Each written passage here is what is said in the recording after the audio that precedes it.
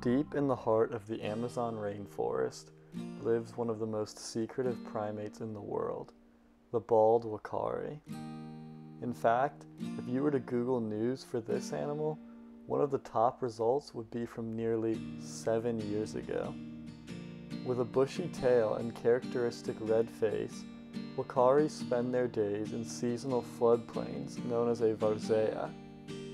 This makes it difficult for researchers to find them and answer even the most basic questions, including where exactly the species is. I looked at methods for detecting uakaris and determined which is the best for future study. These methods were evaluated based on their effectiveness and practicality. Because uakaris are difficult to find, scientists will often attempt to confirm their presence in an area using signs of the animal. The most popular sign to use is discarded fruit parts. Researchers will often travel by canoe to search for these parts. Uakaris are frugivores, so the opportunities for collection of discarded fruit are plentiful and the task for researchers is straightforward.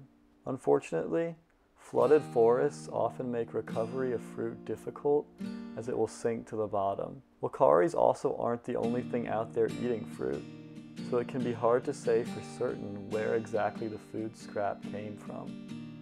Oftentimes, fish may eat the fruit part before researchers can get to it. Another method used to detect uakaris is playback call.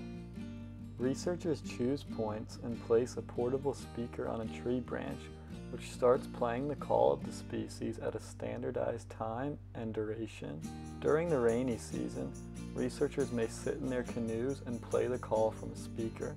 This method takes advantage of the fact that uakaris are a vocal species and likely to respond to calls of one of their own. On top of that, Playing the call of another animal could mitigate the effect of seeing a human on bald uakari behavior.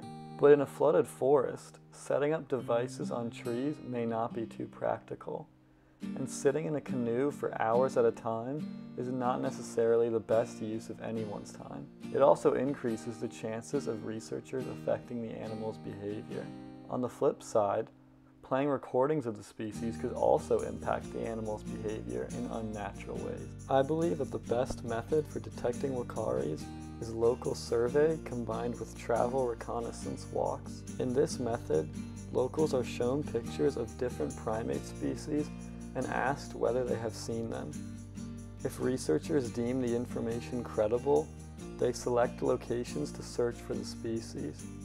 Once at the site, the team will take travel reconnaissance walks. A travel reconnaissance walk is when researchers follow a path through natural or game trails as directly as possible. The team makes notes of what they see and compares them at the end of the walk. This method is great because it narrows down the areas that researchers focus on. The involvement of the local community is essential to long-term conservation success of the species and allows researchers to benefit from the expertise of those who have lived in the region their whole life. This method was used in the early 2010s to help discover a new population of the species in northeast Peru, demonstrating its effectiveness. It requires no fancy equipment that could prove faulty in the tough habitat of the uakari, making it exceptionally practical. Any study using this method would have to be done during the dry season, as trails will be very difficult to maneuver while the Várzea is flooded. Walking natural trails will bias the study, but this is not as much of an issue when the researchers are simply looking to detect the presence of an animal. I would like to acknowledge the literature used to explore detection methods. I would also like to thank Dr. McCleery and Alex for their teaching this semester.